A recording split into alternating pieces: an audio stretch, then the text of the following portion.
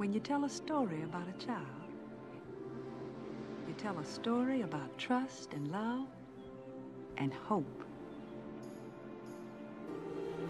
When you tell a story about a child, you tell a story about what tomorrow can be. When you tell a story about a child, you tell a story about all of us. We'd like to tell you a story about a child.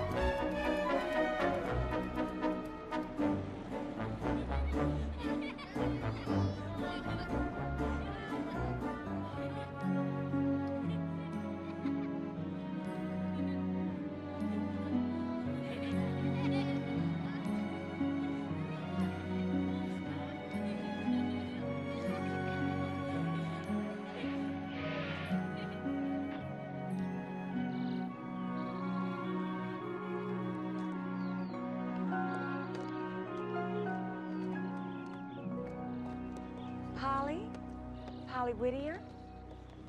Are you my Aunt Polly? No, child. I'm Nancy Palmer. I work for your aunt. She would have come down and fetched you, but she got lots of important meetings this afternoon. She's a pretty important lady, huh? Mm-hmm. One of the most importantest. Here you are, man. We'll get you over to the house as soon as we get the rest of your luggage. That is the rest of my luggage. Well, then, let's get scratching. Come on, the car's across the street. Nancy! Nancy! I figured I'd run into you when I got back into town, but this isn't what I had in mind. Dr. Shannon, what brings you back? Fishing season. So who's your friend? This is Miss Harrington's niece. Oh, really? Smile for me, girl. Oh, yeah, yeah. I recognize that smile, all right. Though it's been a while. Now, what's your name, Aunt Polly's niece? I'm Polly. Oh, named after the other Polly, huh? Well, you keep on smiling, girl. You got a good one, even if it doesn't get used much around here. I'll see you later. Bye-bye. Ooh, come on, child. We got some news to deliver home. Is it me? Am I news? Well, you're full of pep and vinegar. And in the Harrington house, yeah, I say that's good news. Get on in there. Reverend Gillis, it lacks dignity. And whereas it is not my position to choose the topic of Sunday's sermon, still I think we need to take into account that a certain authority is needed. Uh, authority, yes, yes, I surely can understand that. A preacher must have authority over his congregation. Does that mean that you'll change the topic of your sermon to something more meaningful? Uh, meaningful, uh, yes, I believe it does.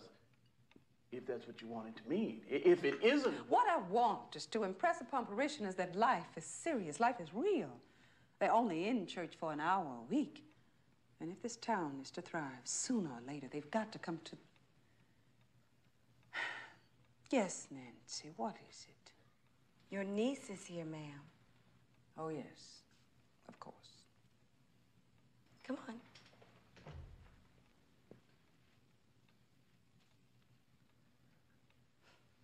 Well, come closer, child. Come on. Turn around, let me get a look at you.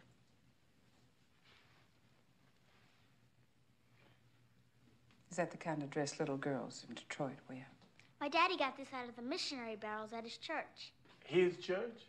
Is your father a minister child? Her father, Reverend Gillis, the gentleman who married my sister, was a deacon in a small church in Detroit, and he and his wife were in an automobile accident. And that's why my niece has come to stay with me now. Doing your Christian duty, Miss Harrington. That'll be written down in the book. Is there something wrong with my dress? No, dear, your dress is fine. Just a little faded. My dad said I should be glad it wasn't a pair of boys' pants. They might have cooties. That's very nice, I'm sure. I think it's time that Nancy took you to your room now. My room? My own room? Yes. Won't people get awful messed up, though? Messed up about what? Two Pollys, me and you. Won't that get 'em coming when they're going? Well, you are Polly, you see. Nobody calls me Polly. Miss Harrington, yes. But no one has called me Polly for years. Didn't that Dr. Shannon even call her Polly? You saw Dr. Shannon? Uh, yes, ma'am. He said he came back for fishing season.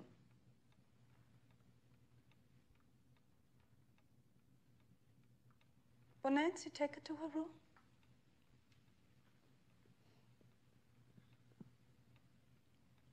Yes, where were we? Don't be talking about Dr. Shannon.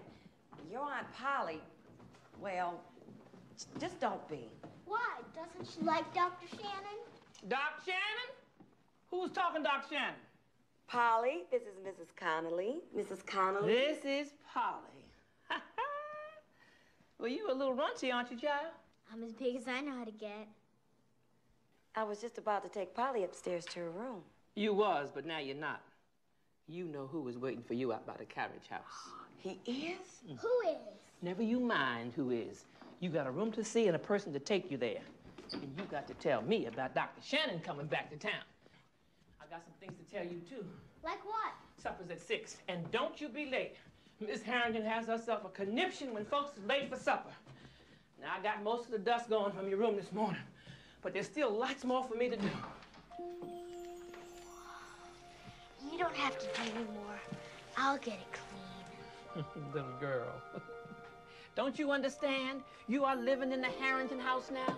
You are the niece of the richest black lady in the county, and you have to act like it. Hmm. Like it or not. Don't you be late for supper. I won't.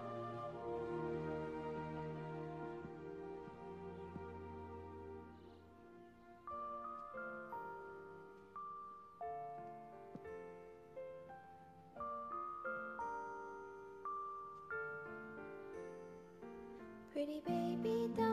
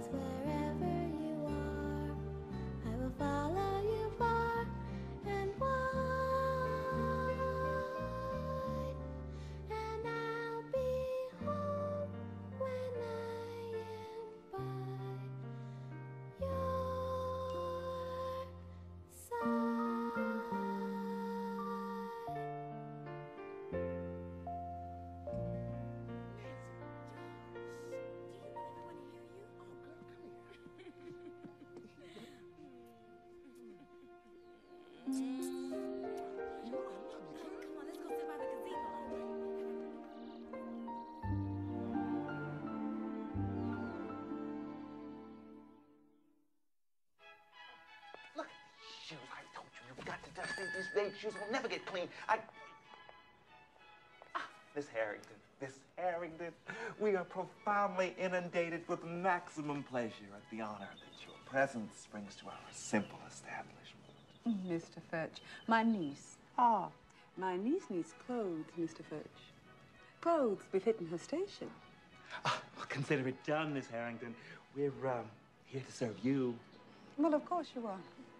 I'm leaving the car with you. I'm meeting Miss Tarbell for tea, then we're going back to the house for a meeting with the orphanage boy. Don't be too long. We won't, ma'am. I'll uh, leave this little lamb with you ladies. Call me when it's time to add up the bill. Is that all that radio knows how to play? What do you mean? Do you think it has any Detroit music in there? Detroit music. Yeah, but if I'm gonna be a special lady in this town with straw-ball clothes, I need some music that knows how to bop de bop de bop. You want to hear some music that does what? I want to hear some music that knows how to bop de bop de bop. I'm going.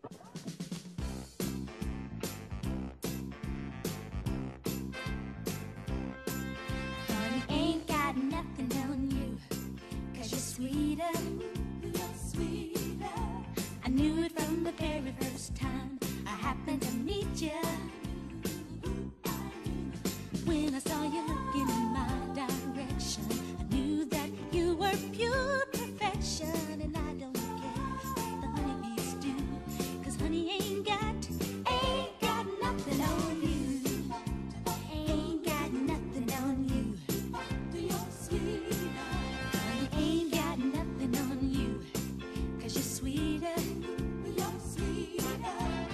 The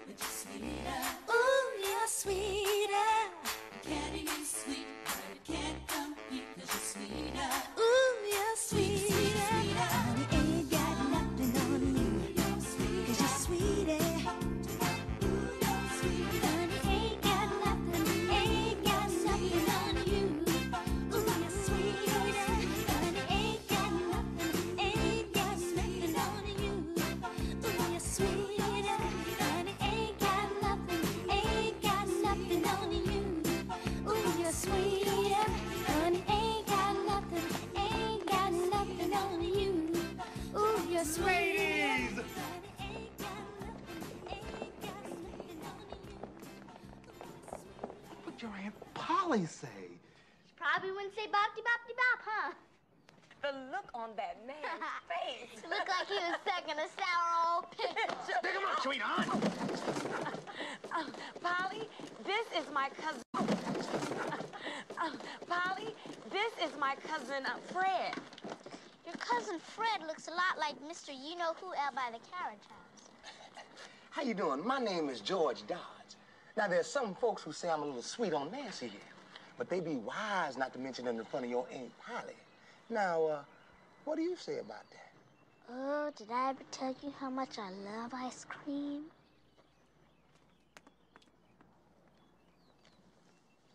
Ice cream. You're probably Whittier and I'm Jimmy Bean and I don't like you. Isn't it hard not to like somebody when you don't even know them? I know enough. Know you're rich and I'm not. Know you're a girl and I got no use for girls. And know I'm an orphan and you're not. And I got no use for that kind either. First off, I live in a rich lady's house, but I'm not rich. Second, I can whistle louder, run faster, and spit farther than any boy ever born. Third, I'm as much as an orphan as you. But there is a reason for you not liking me, and I don't blame you one bit. What's the reason? I'm getting ice cream and you're not. Big talk for a little girl. Of course, it don't bother me none. You sweet young thing, you. Now things are getting things are getting entirely out of hand here. Miss Harrington has invited comments from the goodness of her heart.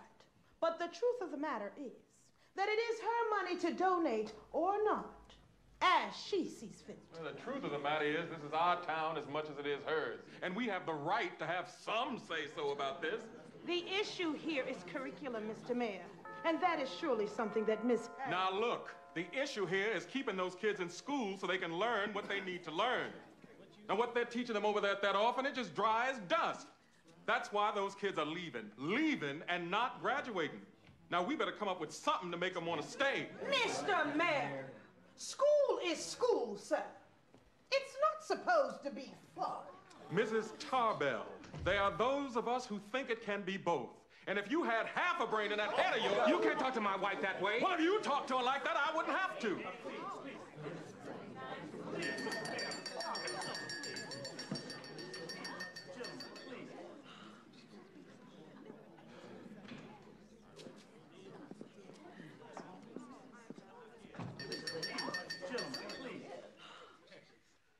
I see that Cook has prepared tea cakes in the dining room.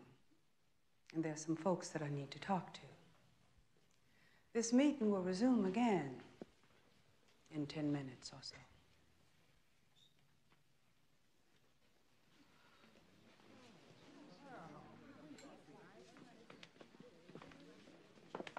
Polly?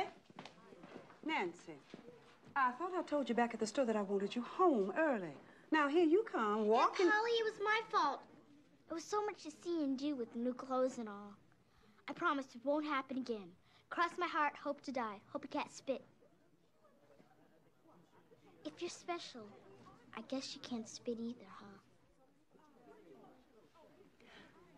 Take those clothes upstairs, hang them up before they get wrinkled. Skedaddle.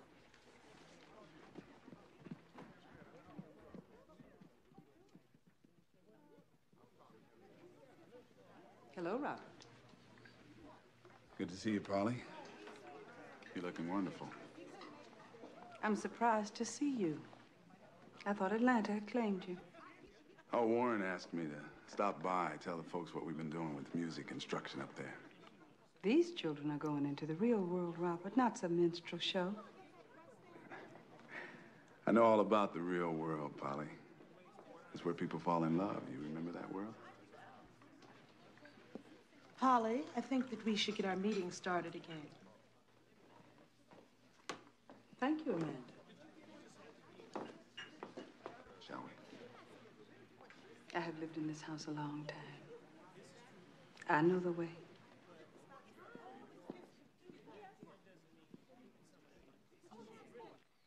It's beautiful.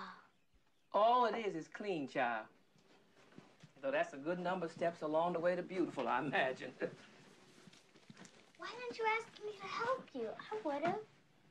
Can't ask a person who ain't here. You were at the dress shop getting beautified yourself.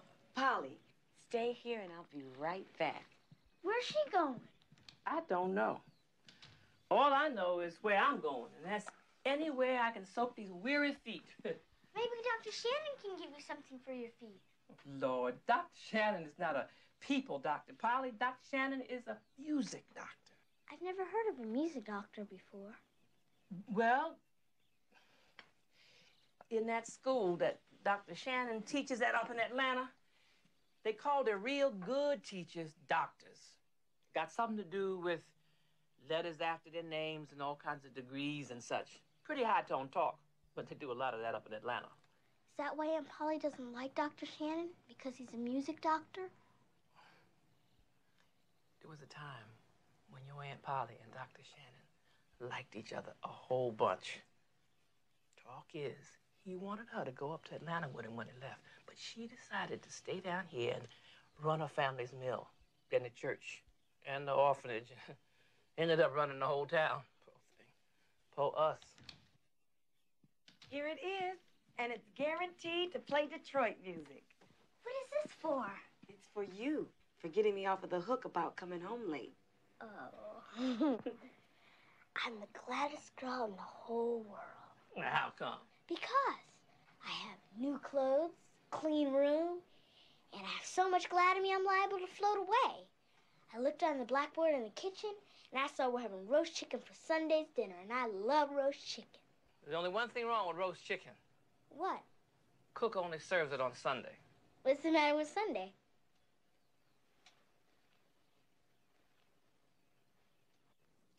degradation, perfidy,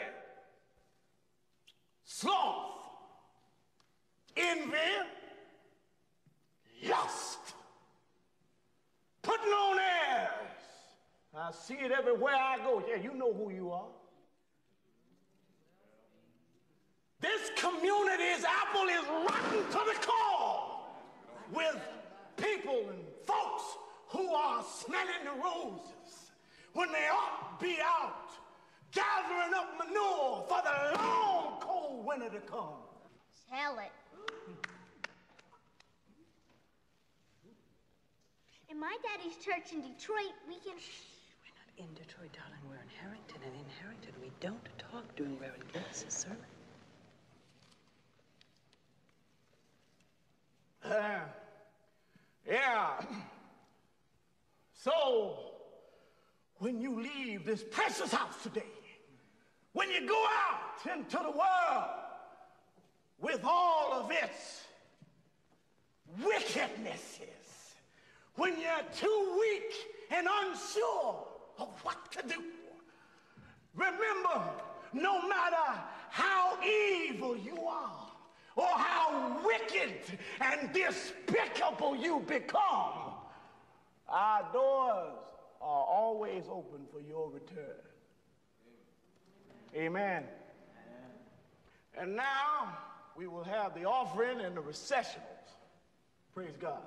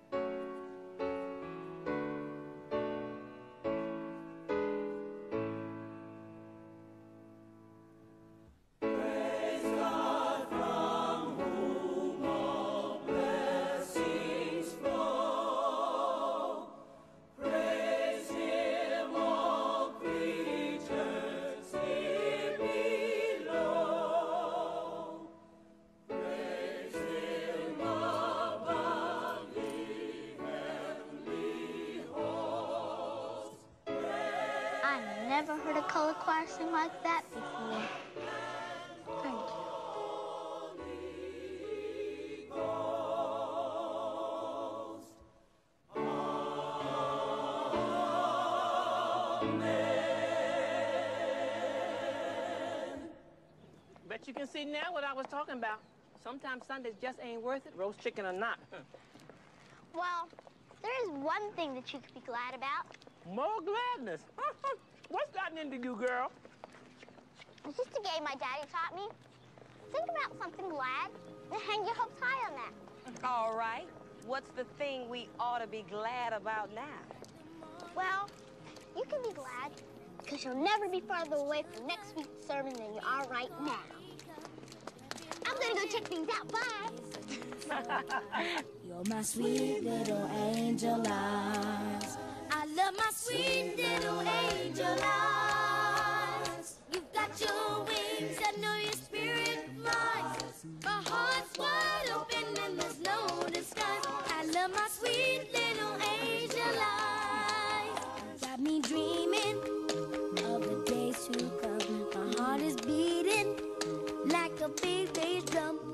Got me singing. Open up the skies. You're my sweet little angel eyes.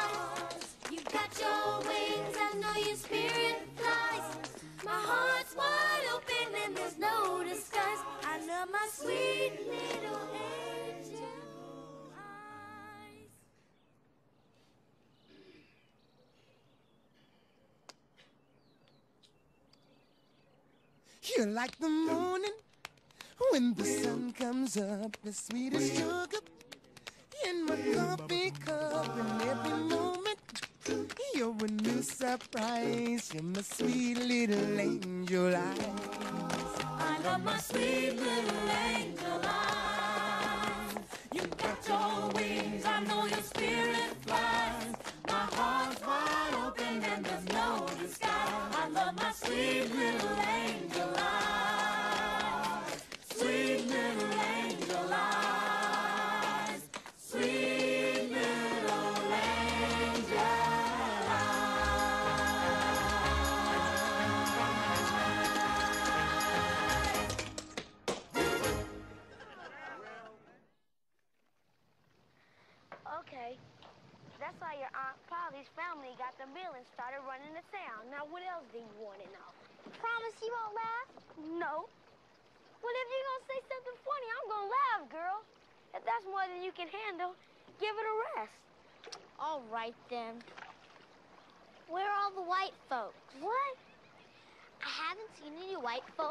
I got off the bus. Saw him coming down here from Detroit. Saw him when we drove through Atlanta. But since I got to Harrington, not one. Oh, that's easy. We ate them all up.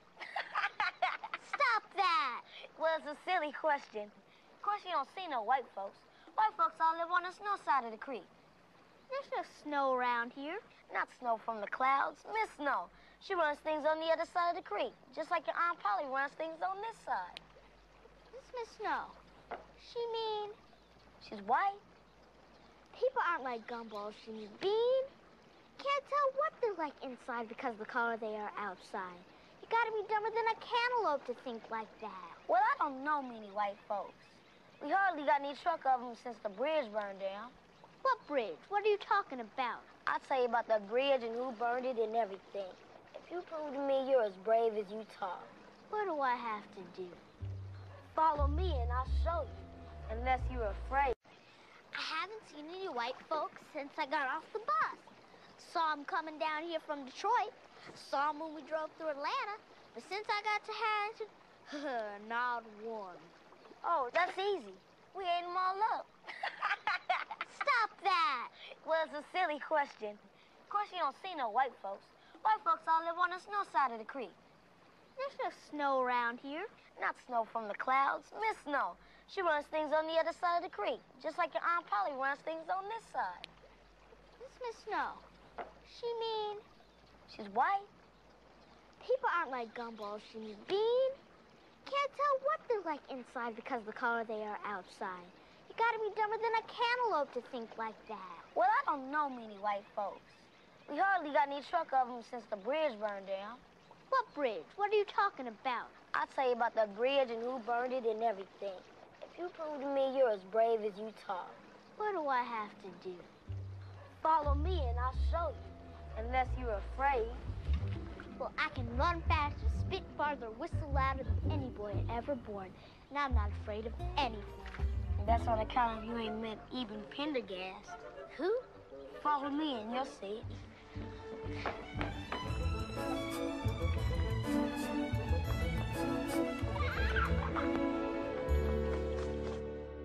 Hi, Miss Conley. Who is it, Mrs. Conley? It's Dr. Shannon. Won't you ask him in, please?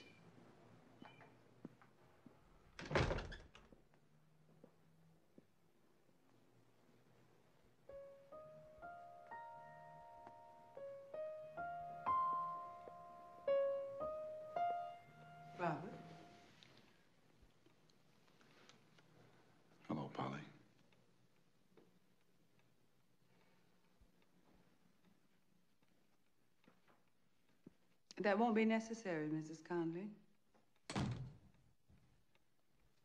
This won't take long. I, I just wanted to drop off some some of these brochures and a couple articles. Brochures and pamphlets about what? It's about how kids respond to musical instruction. From your reaction the other day at church, I thought maybe this would help you understand it a little better. Is that why you came back to Harrington, Robert? To see if you could change the teaching methods at the orphanage? You know it isn't. Well, I will read these pamphlets. I'll try to keep an open mind, but We're not talking about the orphanage, Polly. We're talking about you and me. We're talking about wasted years. oh, I'm not so sure they've been wasted, Robert. You have a fine career in Atlanta. And I've managed to keep Daddy's mill running. I've managed to keep this town together. Is that your responsibility? Yours and yours alone to keep the town together? There are certain obligations to wealth. There are certain problems, too. I mean, apparently the rich lady living on the hill can't let her beautiful hair down on her neck the way she used to.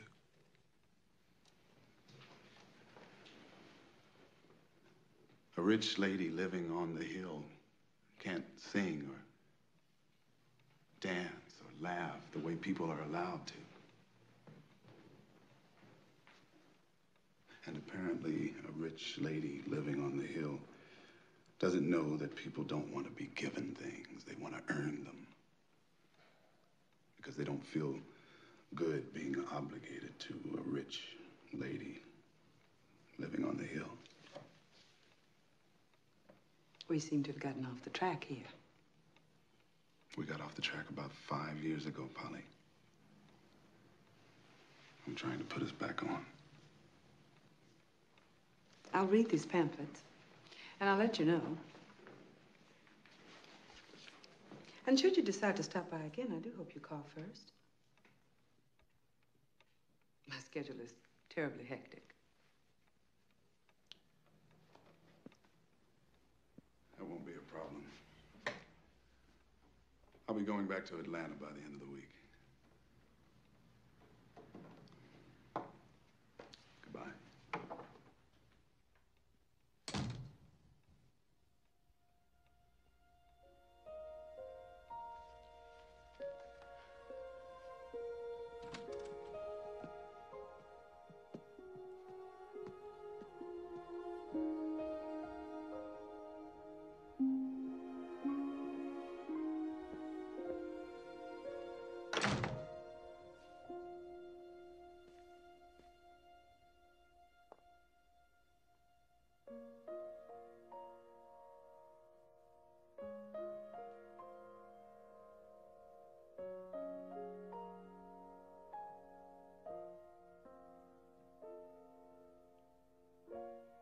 Don't look at me like I've done something wrong. I'm proud of the good that I've done. I'm the one they all count on. I've got to be strong. There's battle still left to be won. Don't tell me how love can slip through your hands. Don't ask me what I'm waiting for. Don't make me feel like I'm missing the chance, the chance to have something more. Something more could only get confusing, and I would just risk losing everything I've got. Something more like someone to belong to, or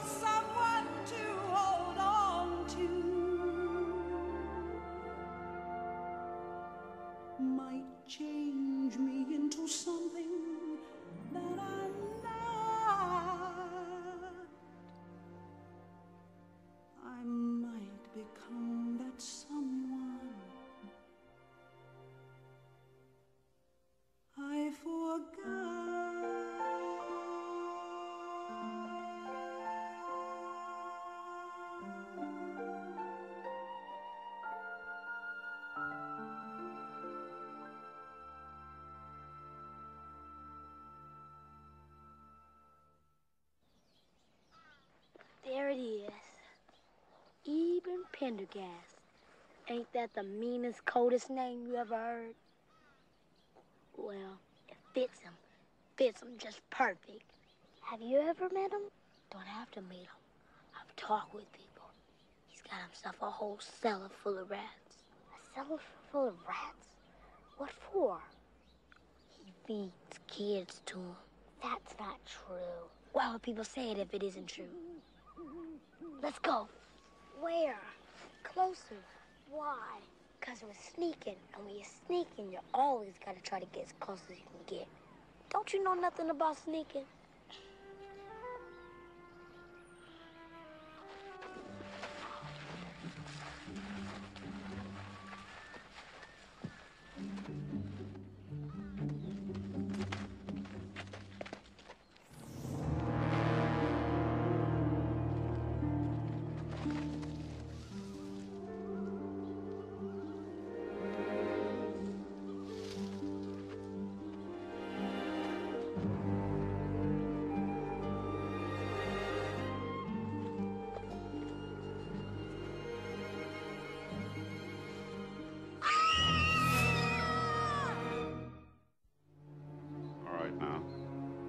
What are your names? I'm waiting for an answer. and I don't like to be kept waiting. I'm Polly Whittier. And if I'm not back at my Aunt Polly's house by dark, she'll call the police and they'll come looking and find this place. They'll look in your old cellar, too. They'll look in my cellar. Why would they look in my cellar? For bones? Bones. For bones. Bones. Why would they look for bones in my. Oh, that one. I see.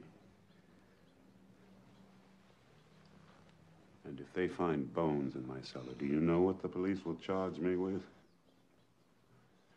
They'll charge me with cruelty to rats for feeding them willful, spoiled children. Oh, Jimmy Bean, don't you dare run. Girl, my mama and papa may not be alive, but they sure didn't raise me to be nobody's fur ball. Well, I was down in my cellar this morning, and all of my rats are getting too fat.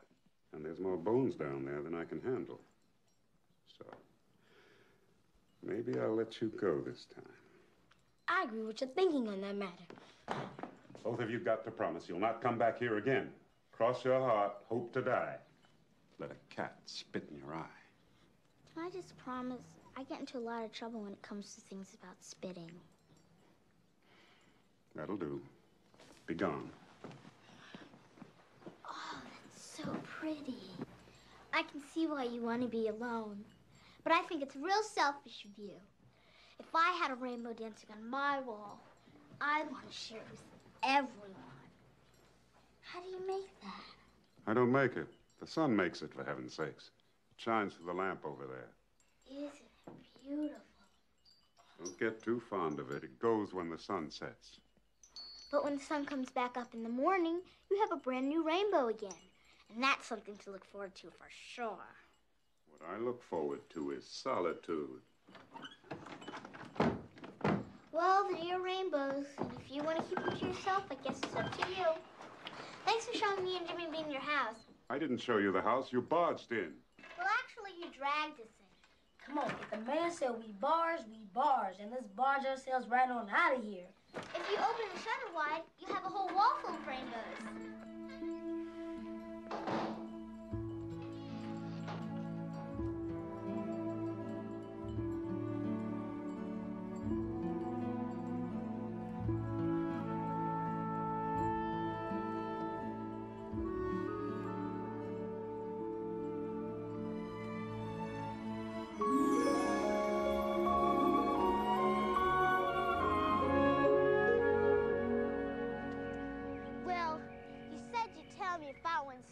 With you, and I went sneaking with you, so tell me.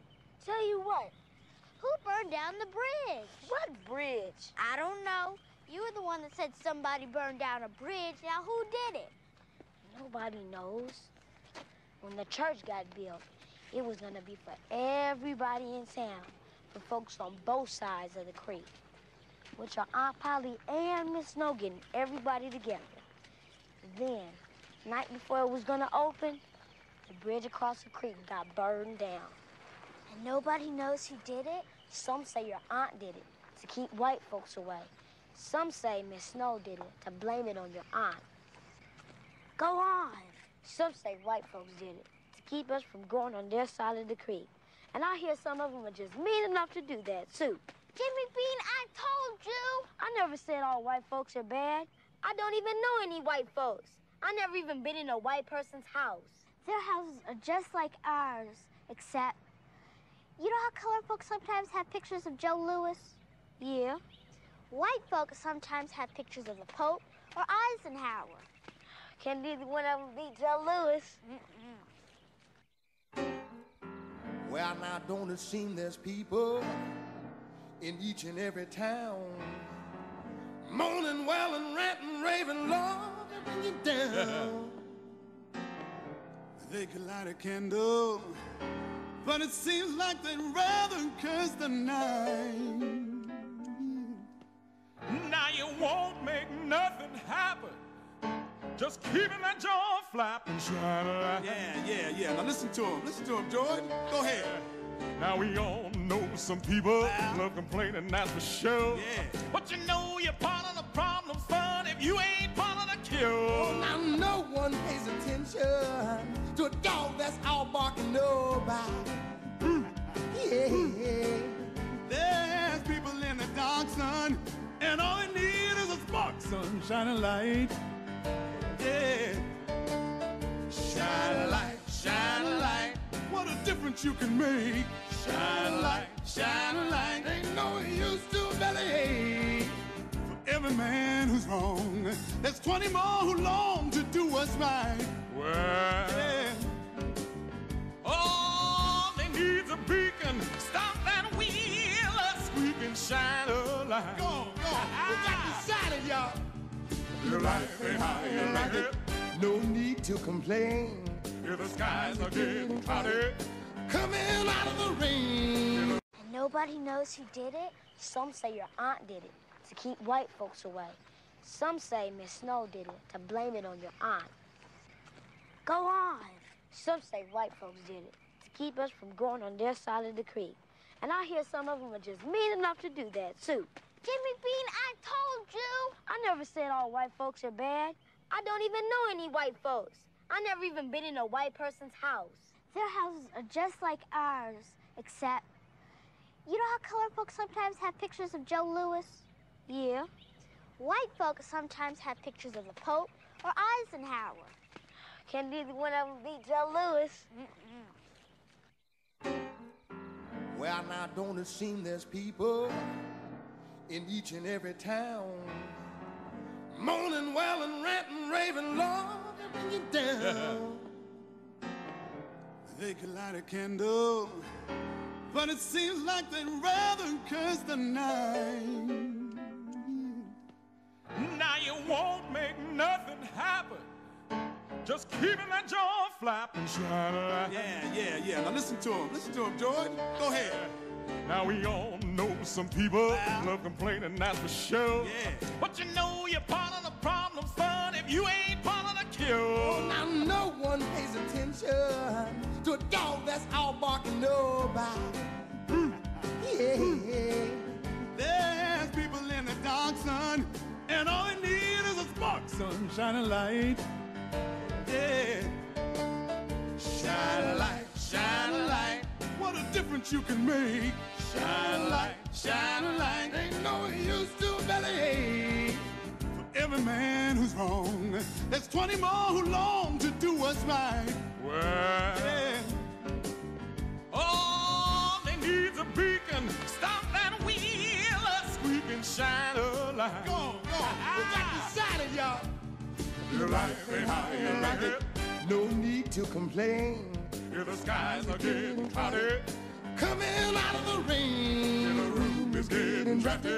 Close that window, child. If you don't like the song on the radio, get up and turn the dial. Cause there's a time for sitting, and there's a time for standing up and. Ooh. Just stop your gums and beat and get up, shine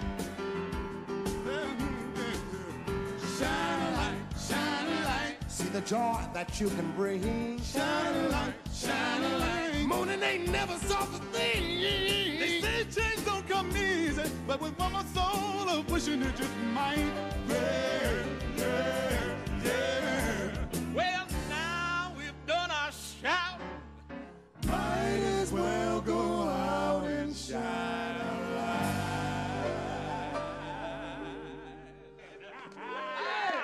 Very nice. Now listen, what that song is saying is what we gotta do. And what are you talking about? I'm talking about we got us a problem, and all of the moaning and wailing in the world's not gonna change a thing. If we want to get out of this bind, we gotta get ourselves organized. Jump back, Jack. What are you talking about? I'm talking about us getting organized. Organized to let Miss Polly Harrington know she can't control everybody's life. That's what I'm talking about. We Got to get organized. eh? That's right. I'm very disappointed in you, young lady. Very disappointed indeed. Sorry, Aunt Polly. I hurried home as fast as I could. And to go to Mr. Pendergast's house like that. Aunt Polly, he's just lonely. That is not the point. The point, I don't want to debate this. The point is that you have done something wrong and you need to be punished. Now, what do you think a fair punishment would be? Well, you could make me listen to that colored choir you have at church. Tomorrow is my day for delivering baskets to the needy, and, well, I certainly could use some help with those baskets. Are you suggesting that that be Polly's punishment? Some of those baskets are ever so heavy, Miss Harrington. I mean, jars filled with jellies and so forth, heavy as can be. Polly, did you hear Nancy? Tomorrow you will go with Nancy and Mrs. Connolly to deliver baskets to the needy, and you do exactly as I tell you, understand? Yes, ma'am. Go on into the kitchen. Mrs. Connolly will prepare a plate for you. You can eat it in your room, give you time to think about being home when you're supposed to be home. Delivering baskets. What kind of punishment is that? That's just what I was afraid your aunt was going to think. Don't go thinking you fooled that woman into believing that sugar's really salt. She knows this is patty cake stuff been handed out here. Why did she go along with it so easy? I'm sure I wouldn't have any idea unless somebody's reminded her that there's a softer way to go through life. Heaven only knows who that somebody could be.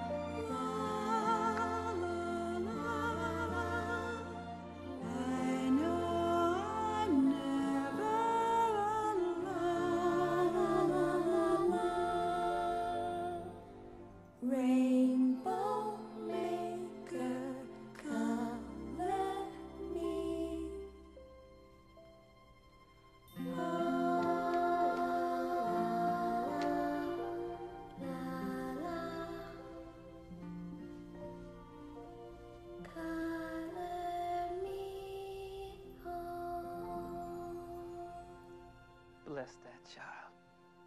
Just bless her. Don't want to hear it. You have a good day, ma'am. But I got a 30. 30 going on 65. The boy 30 years old still live with his mama. Let me tell you something. Let me tell you, Reverend, come in. His shoes from thrift shop. Morning. Morning, Reverend. Nice shoes you got on there, sir. Thank you. Thank uh, Tell me something. Uh, you and Miss Harrington uh, go over your sermon for next week? No, no, we're still working on it. I, I'm still working on it. Uh, excuse me, am I disturbing something here? Uh, no, sir, Reverend. Uh, Why would you say a thing like that? Well, there seemed to be a great deal of laughter and carrying on before I arrived. As soon as I did, it was all morning, Reverend. Have you picked your sermon yet, Reverend? Wouldn't be surprised if there weren't some jokes being told that you didn't care to repeat in front of a man of the cloth. No, sir, Reverend. Nothing like that. And if there were any jokes being told, well, we can't tell you about it. Wouldn't want to spoil the surprise, Reverend Gillis. Hey, George, George, come on, man. We gotta be at the paper by 10 if we're gonna get the ad. All right, I gotta go, but listen, tell your people what's going on, all right? You know what to do. Uh, All right, people. Gentlemen, let, uh, we are. Morning. Planners,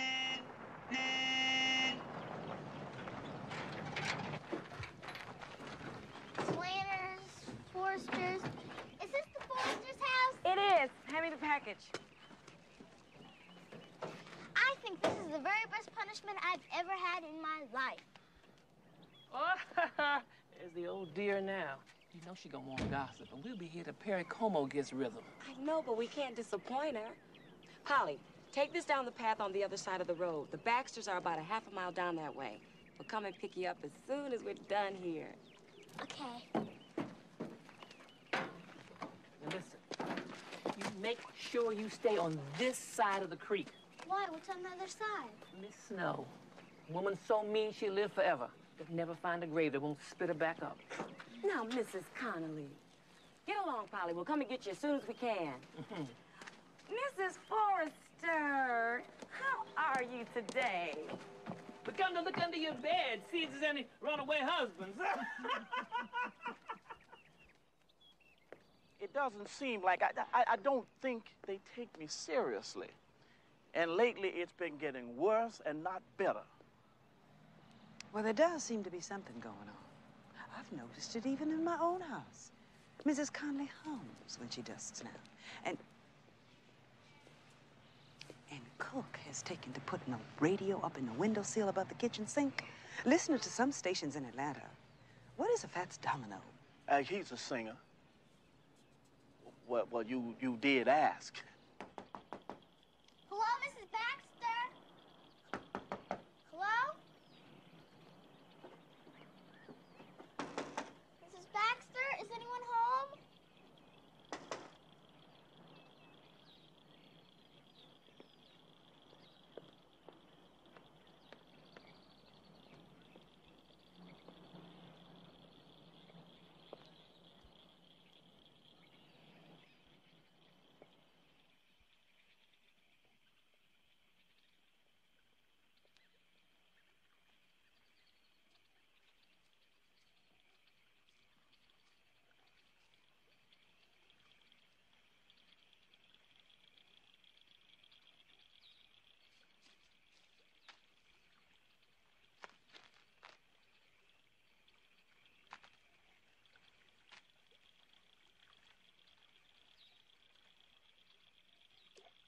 Oh, before I forget.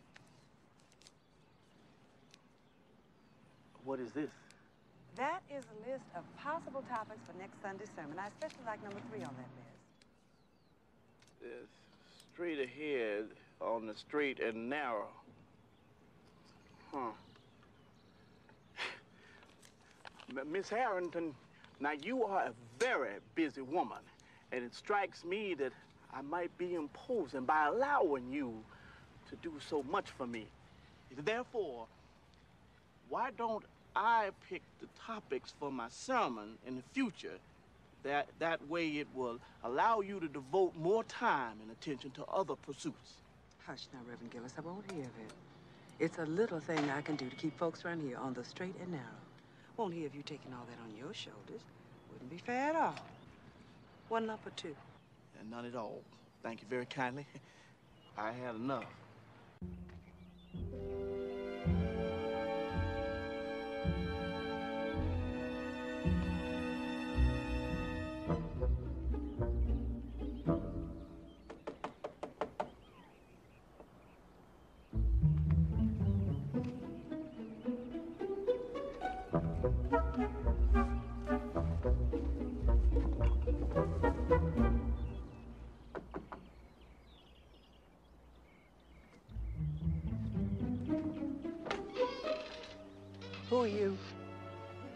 you doing here? What do you want? I asked you a question, Missy. Uh, uh, I'm Polly Whittier, and I have a basket for the needy, ma'am. Do I look like one of the needy? It's not for you, it's for the Baxters. The who? The Baxters. They weren't at home, so I thought I could give this to you. Don't you even know the names of your neighbors? Of course not. Would it be okay with Miss Snow if I left this basket here? Maybe later you could take it over? I am Miss Snow. Who'd you think I was? I just heard that Miss Snow is very rich, and lots of rich ladies have servants. One minute you think I'm one of the needy, next you think I'm one of the servants. All I know, I'm trying to help some people that need help. And It's not my fault you don't know the names of your neighbors, and you're probably too mean to having a servant work for you.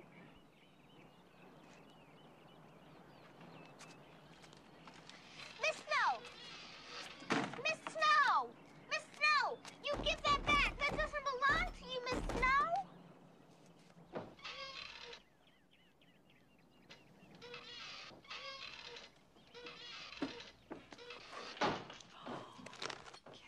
Calf's jelly. Ooh, I love calf's foot jelly. And cornbread and pickled pig's feet. Miss Snow, you give that back.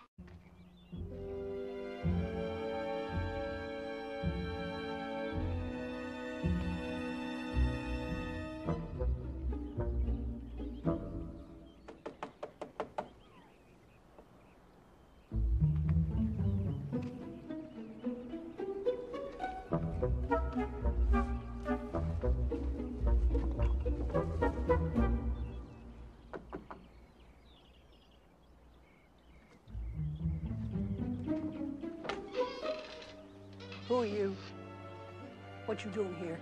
What do you want? I asked you a question, Missy. Uh, uh, I'm Polly Whittier, and I have a basket for the needy, ma'am. Do I look like one of the needy? It's not for you, it's for the Baxters. The who? The Baxters. They weren't at home, so I thought I could give this to you. Don't you even know the names of your neighbors? Of course not. Would it be okay with Miss Snow if I left this basket here? Maybe later you could take it over? I am Miss Snow. Who'd you think I was? I just heard that Miss Snow is very rich, and lots of rich ladies have servants. One minute you think I'm one of the needy, next you think I'm one of the servants. All I know, I'm trying to help some people that need help. It's not my fault you don't know the names of your neighbors, and you're probably too mean to having a servant work for you.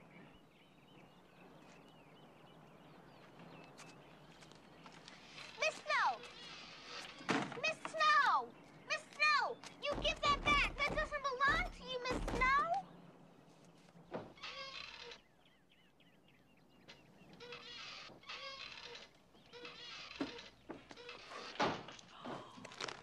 Calf's foot jelly. Ooh, I love foot jelly. And cornbread and pickled pig's feet. Miss Snow, you give that back. That doesn't belong to you. Please? First, you want me to take it from you and do the job you're supposed to do. Now you want me to give it back to you? You'll be sure it gets to the Baxters, right? Child, you were the one who said I was rich. Now, what would I want with this little bitty basket of food? Being rich doesn't mean you can't be stingy. Besides, you don't keep a rich looking house. It's all sad and messy. You don't take care of yourself like a rich person. You should be able to afford a comb if you're rich. Some soap and water for that robe. Doesn't matter what this place looks like. Doesn't matter what I look like. I'm the only one that has to put up with seeing me. I see you. And I see that you could be a very pretty person. I think most everybody can. That's what you think, is Is that what little Miss Impudent thinks?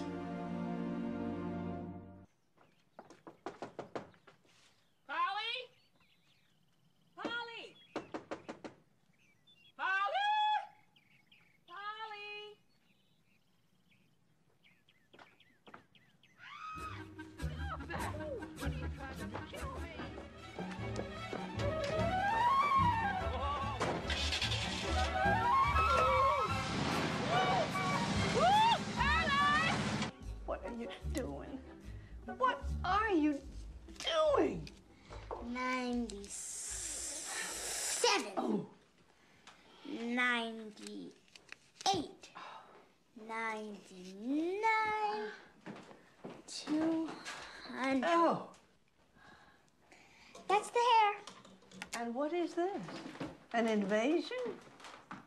Uh, Miss Snow. That's Miss Conley and Nancy. Polly, we gotta be getting home. Come on. Well, when are you coming back to apologize? Excuse me? Well, I assume you'll be coming back to see that the Baxters get their food basket.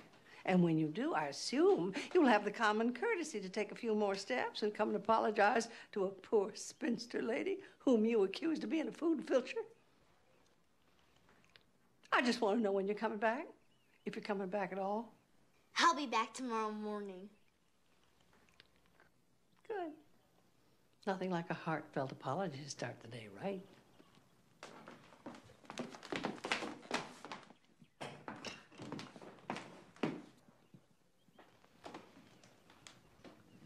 My, my.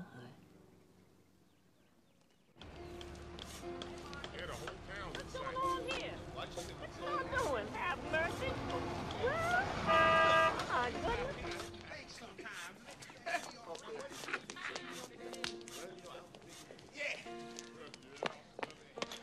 Well, Nancy, what do you think? I don't know what to think. What is it? Bazaar, girl.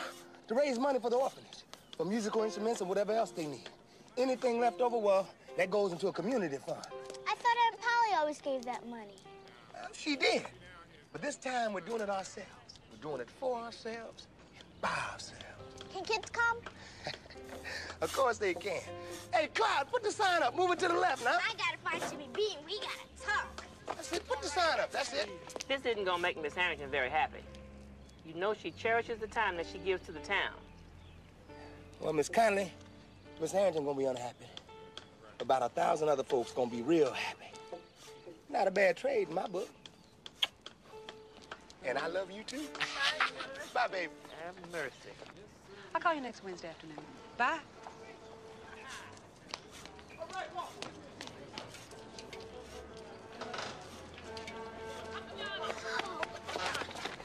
Oh, Aunt Polly. Isn't it fabulous?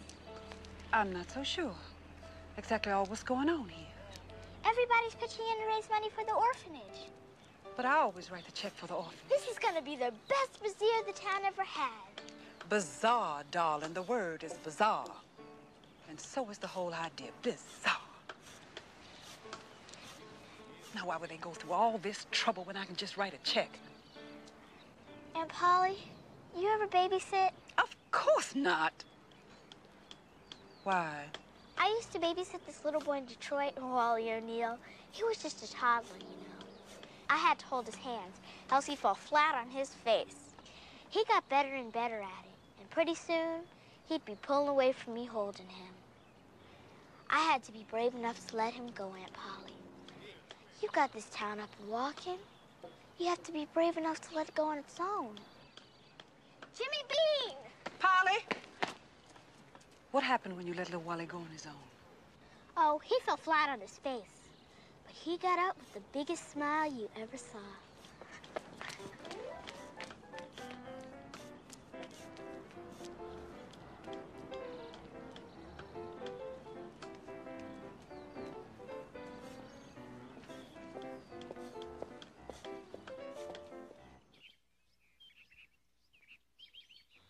It is the most durable. Oh, I don't know. I can't make up my mind. Maybe we could make this decision another time. As you wish. Though, I hope it's not too late. Hate to see you laid out wearing polka dots against a plaid backing. Are you buying a dress? Little child, we are discussing some serious business here. Buying a dress isn't serious, it's fun. Miss Snow is not buying a dress. I'm helping her pick out a lining for her coffin.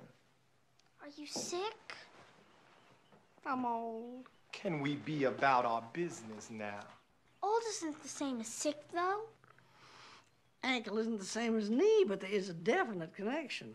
But that means you won't sew a petrol quilt for the bazaar. It's for a good cause. It's for the orphanage. That's on the other side of the creek.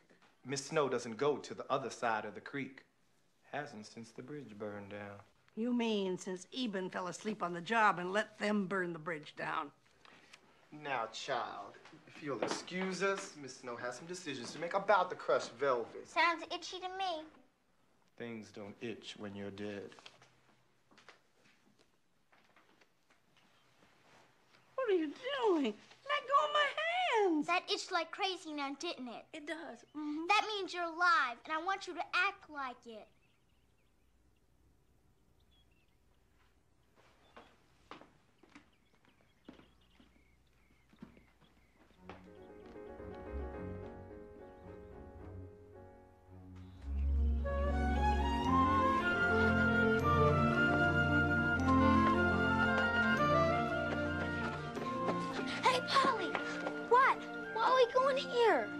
Because we got some business to do. Come on.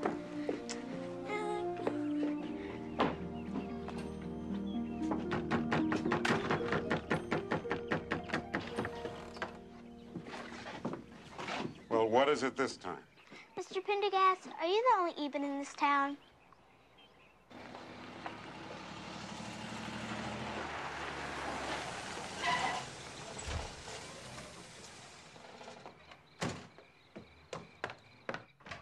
Polly! Polly! Robert, what in heaven's name has got Heaven's got nothing to do with it, not one blessed thing. Oh, thank you to mind your tone and lower your voice. Well, save your thanks because I'm not going to do either one. But I am going to tell you about what I think about what you've done. The paper won't run our ad. I simply mentioned to the managing editor. Yeah, but that I- once people heard about that, they started worrying about their jobs in the mill. They started wondering just how, how petty and mean and vindictive is Miss Polly Harrington going to be. If a simple request from one woman can throw sand into the gears, there couldn't have been much support for that bazaar in the first Oh, place. come on, Polly. Let's not underestimate ourselves. It's, it's more than just one woman. There's the woman who runs the mill, you. There's the woman who controls real estate, you. There's the woman who dictates what gets said in church, you. That's not. And there's the woman who's so afraid she won't be loved. She's got to control an entire town with her checkbook. Now, some people think town is just another word for family. You seem to think it's another word for kingdom. You didn't close the door on your way in, Robert. Don't make the same mistake on your way out.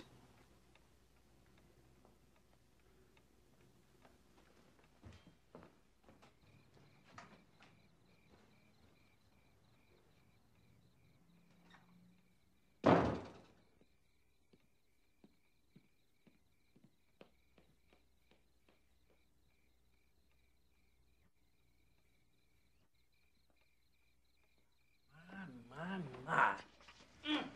Nancy? Does this mean the bazaar is off? Sounds like it. But some of what Dr. Shannon said isn't true. And Polly doesn't have say-so over the church. Nobody can own a church. Can they? We'll talk about it in the morning, sweetheart,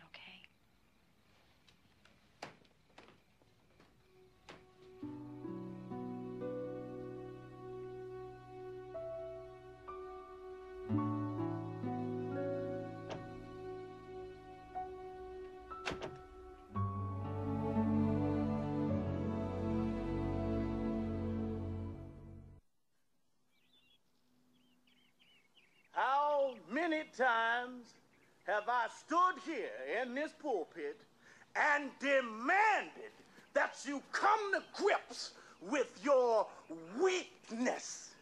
Yeah. That- No, come to grips with your weaknesses.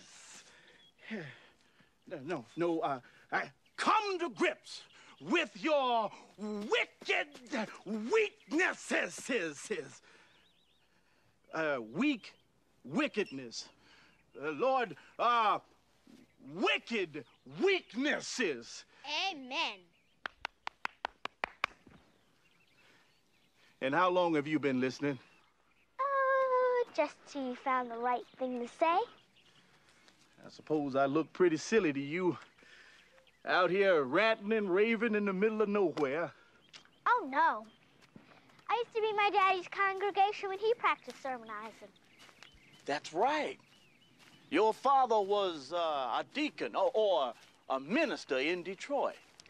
Yeah, he loved sermonizing, except when he didn't think they were getting the word. And that part sounds sadly familiar. Tell me something, Polly. Did your father ever find a solution to that little problem? Oh, sure. He just started basing all of his sermons on the glad text. That's what Dad called them. Glad text? Yeah, like make a joyful noise unto the Lord, shout for joy, be glad in the Lord. Daddy said that there were 800 glad texts. Did you know that? I did not. I do not. Amen. And how long have you been listening? Oh, just till you found the right thing to say. I suppose I look pretty silly to you. Out here ranting and raving in the middle of nowhere. Oh, no. I used to be my daddy's congregation when he practiced sermonizing. That's right. Your father was uh, a deacon or, or a minister in Detroit. Yeah, he loved sermonizing, except when he didn't think they were getting the word. And that part sounds sadly familiar. Tell me something, Polly. Did your father ever find a solution to that little problem? Oh, sure. He just started basing all of his sermons on the glad text. That's what Dad called them. Glad text? Yeah, like make a joyful noise unto the Lord, shout for joy, be glad in the Lord. Daddy said that there were 800 glad texts. Did you know that? I did not. I do not. Polly, what brings you all the way out here? Oh, Aunt Polly told me to give this to you. She said that they were some texts from Matthew that maybe you could find a way and fit them into your sermon tomorrow. Lord, Lord, I swear, Lord, if you could show me a way that I could just talk to those people in my own words and not have to scare them half to death because of what that woman says. Reverend Gillis, the Lord just did.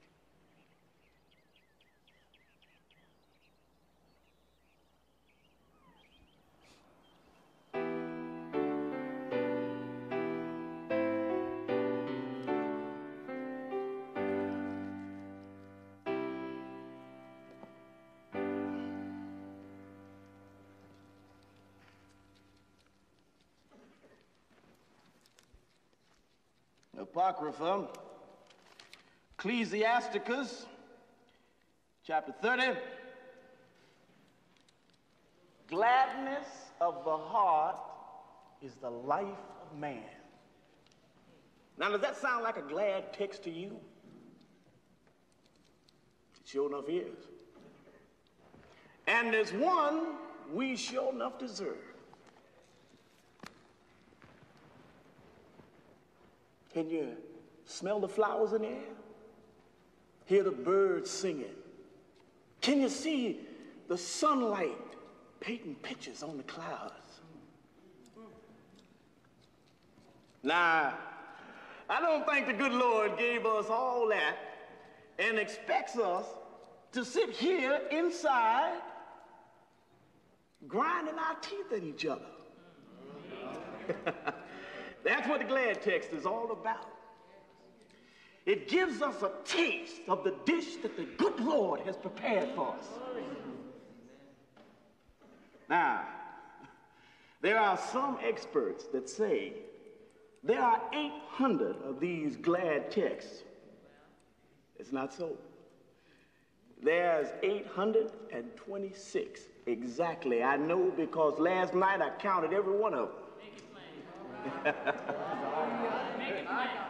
and according to my count, that should keep me in glad text for the next 16 years. That's what I intend to do with your kind permission. Man's insane. Brothers and sisters, make a joyful noise. Amen. Even those who do believe sometimes can wonder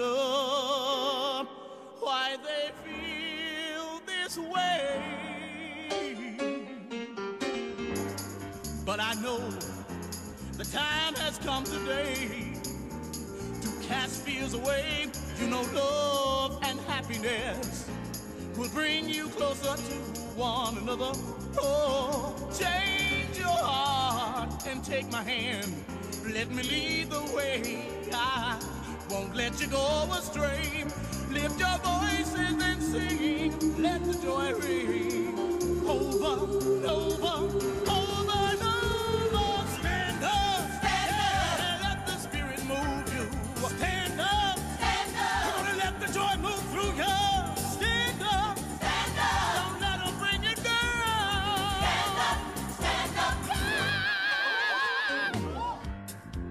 Had a problem. Troubled was my mind. Troubled was this mind. Sat down yesterday, prayed to my heavenly Father.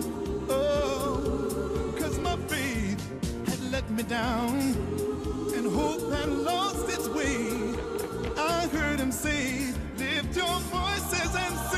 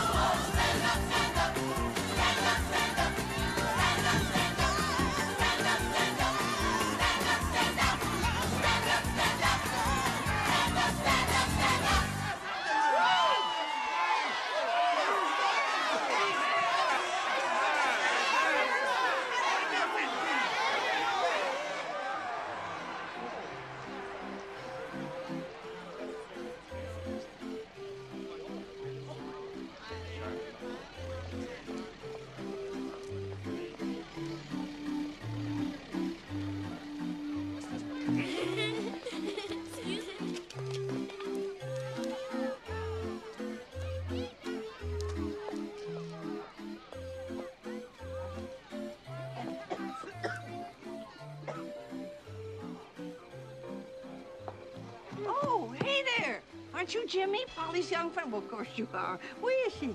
She ain't here yet, but she told me where you are to put your stuff. Come on. You'll be sharing that booth over there. Oh, I don't think sharing a booth is a good idea. But you have to. Polly was real clear on that. She said you two been spending too much time alone. Look, you're both Polly's friends.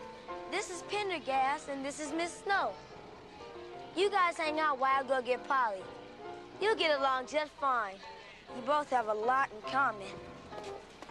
We do? Yeah. You're the oldest and grumpiest people I ever seen in my life.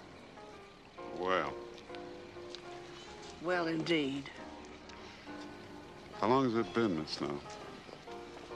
It was 17 years ago they burned down that bridge. So that's how long it's been. Miss Snow, I dropped my cigar.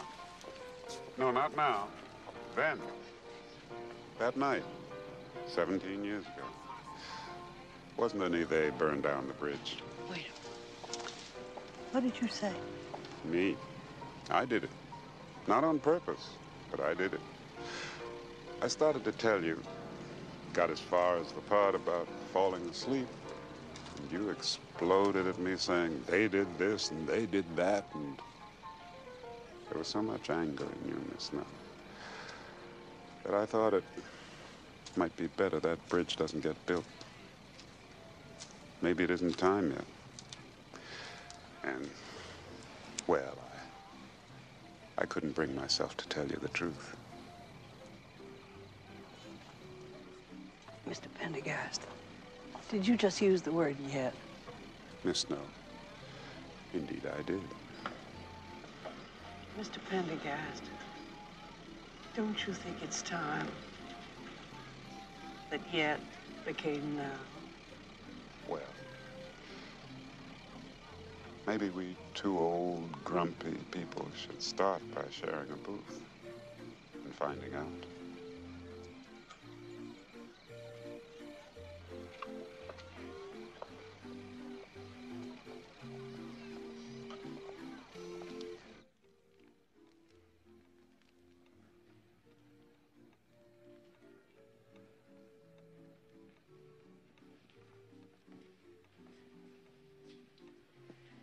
We'll be going now, Miss Harrington.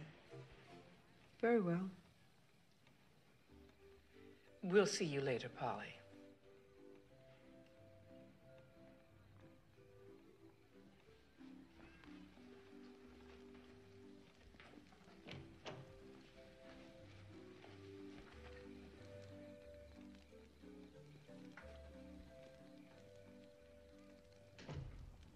Honestly, that woman? Jimmy Bean, where are you going? I came to get Polly. She's not going to the bazaar. She's sick? No, but um, I, I just don't think she's going. But there wouldn't be any bazaar if it wasn't for Polly. You're right, son, and we know it. But that's a house full of pain in there right now, and no good to come a stirring it up. Come on, Nancy.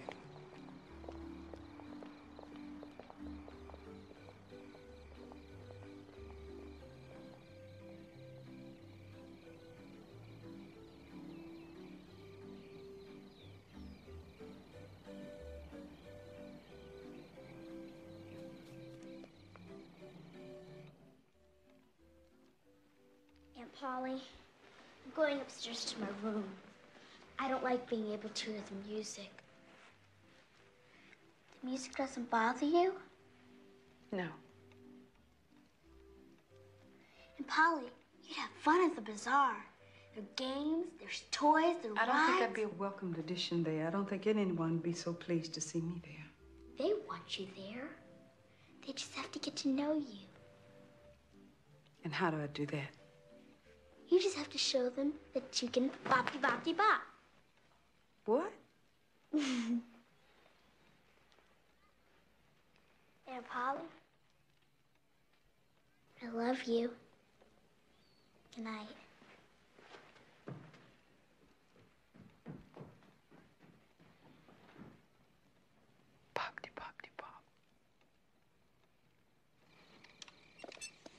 Don't close it. Jimmy Bean! What are you doing out there? I came to get you out. There's all sorts of people looking for you at the bazaar. Come on. But I can't leave my Aunt Polly here by herself. She won't be by herself unless she knows she's by herself. Come on. Sort of high up, though. Not for a girl who could run faster, spit farther than anybody in the whole world.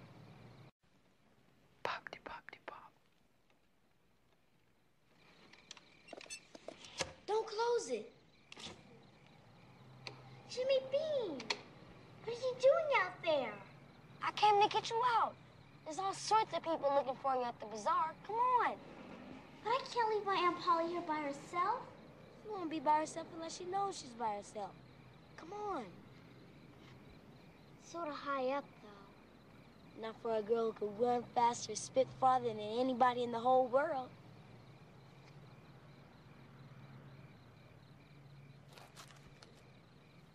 Come on, give me a hand. Come on. Hmm. Just a little bit farther. Gotcha.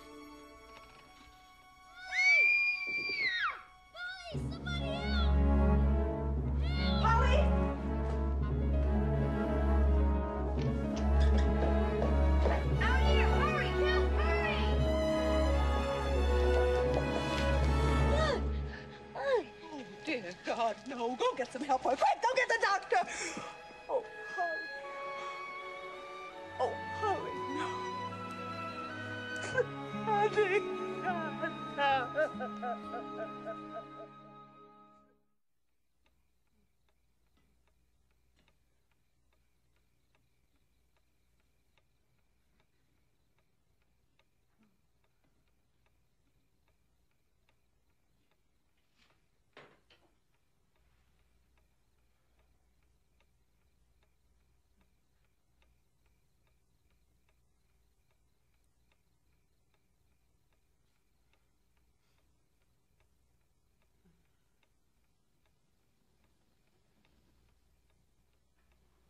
It's my fault, you know. Polly, no.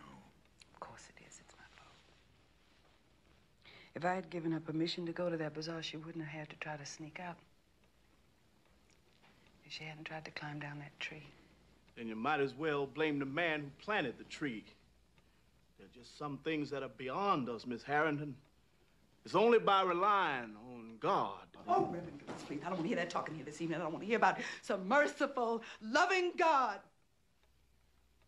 I can't believe in a God who would let such a thing happen to a little child like that. All she wanted was love, which I was too afraid to give her. If God truly loved her, he never would have let her come to this town. Polly, a miracle happened here Sunday. For the first time in I don't know how long, people were smiling at each other and, and feeling good about themselves. Now, without that child upstairs, I don't know whether or not we could have pulled it off, but we did. And I don't think we'll ever, ever go back to the old ways again. Now, I don't know why what happened happened. But I do know there wasn't one day of that child's life that was wasted on small, petty, sour things. She taught us how to love, Polly. She taught us how to live. Didn't she? Robert. Robert, she might die. The doctor's coming.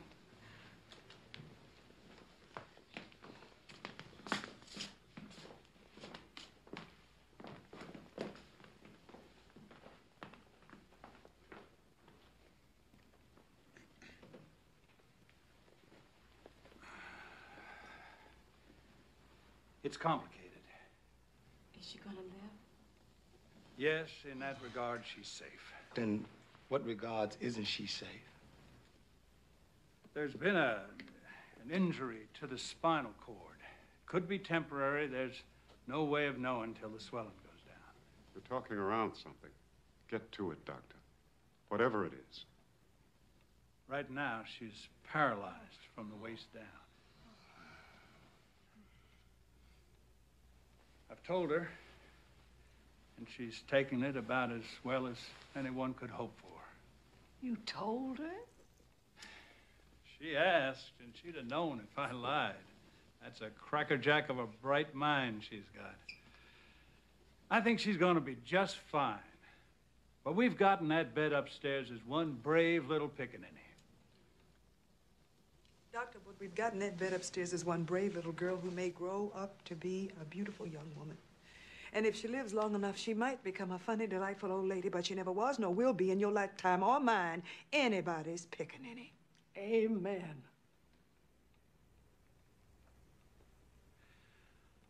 Times change. Sometimes it's hard for an old man to keep up. Well, we're all here to help you in that process, Doctor. Everybody in this room is here to help you along the way. I'll be back in the morning.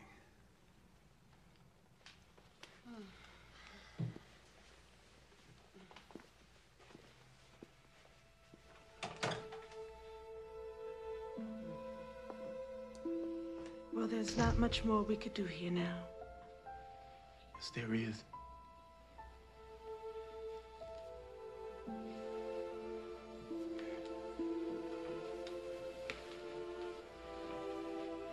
Room for one more, look like to me. Besides, fat folks never pray alone. We'd be on our knees forever if we did. Lord, you know who we're praying for here. You know what we want to happen. Lord, please help that child. If you can see fit to do so. And if you can't, well, we're gonna need your help in understanding that. We all gonna need a considerable amount of help, Lord. If that's your choice. Thy will be done, amen. Amen.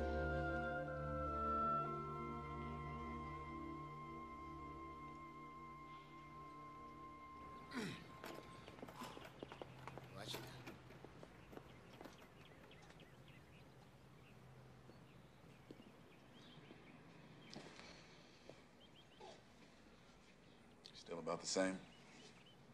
Well, her appetite has improved, and we finally got her to come outside. But she's not the girl we knew before. Miss Harrington! Miss Harrington! Miss Harrington! Excuse me, Dr. Shannon. Come with me, please. You got to see this. Bet you can still speak good. What? Bet you can still speak good. If something may happen to your legs, but you can still spit.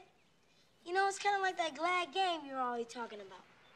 I can't walk, Jimmy Bean. Maybe never. I can't have babies. Definitely never. Aren't you supposed to be in school? No, holiday. There you are. What are you doing back here? Why aren't you out front? I'm not out front because I don't want people to see me like this. She's quite right.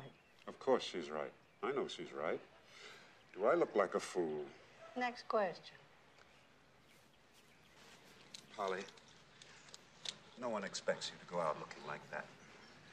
But who could stay here when she has a rainbow around her neck? Why spend all that time brightening up rooms when there's a little girl who needs a rainbow in her life? It's just mixed up lights. Well, this is nothing but rags sewed into patches. But it'll keep you warm, and I'll feel cozy if I do say so myself. Did you make this? Yes, I did. I sold three of them at the bazaar, matter of fact. There was one plaid satin. Tannedest thing I ever saw. You ready? Sooner the better. Whoa! Put me down! Put me down! Where are you taking me?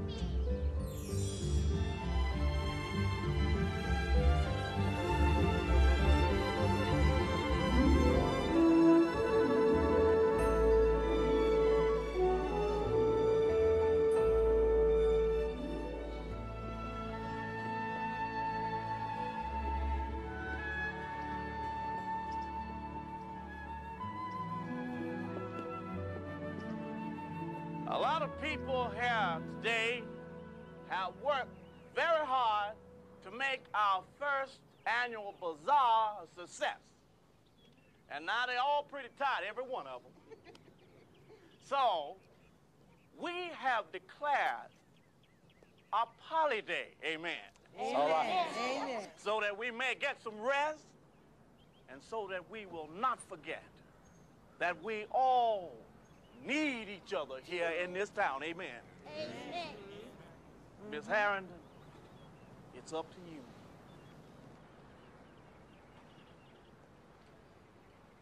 Make a joyful noise.